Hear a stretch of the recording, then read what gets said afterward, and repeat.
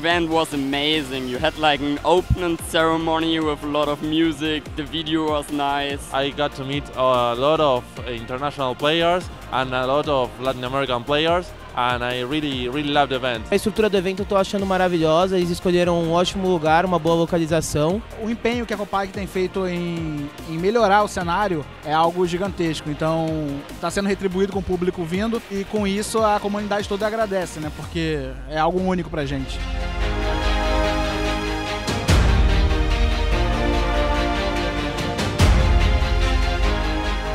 Escolhi vir de Mega Rayquaza, é um deck que eu tô apostando já tem algum tempo, quando o nosso metagame se formulou dessa maneira, com muitos Decidueye, o Canyon, Lapras, decks que eu acredito que o Rayquaza tem potencial para vencer. Hoje eu tô jogando de Volcanion X, que é o League Cup. Ontem no Intercontinental eu joguei de Vetal. E são dois decks que eu adoro jogar, acho muito gostoso de jogar. Tô torcendo pelos brasileiros.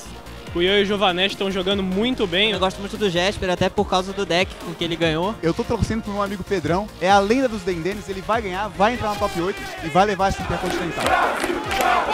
Você é campeão da categoria Sênior de Pokémon TCG! É Brasil campeão da categoria